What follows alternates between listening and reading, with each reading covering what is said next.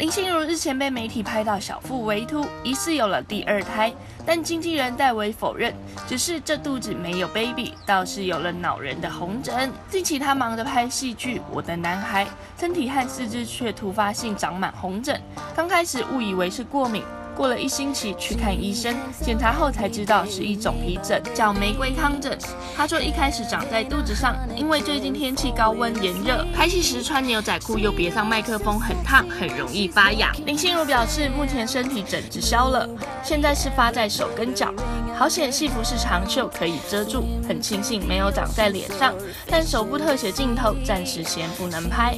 医生也叮咛，还要六到八周才会好。不用吃药，也不用擦药，整子状况已开始出现脱皮，现在只要勤擦乳液，加强保湿。不过看到照片还是会让人吓到，心如要好好保重啊。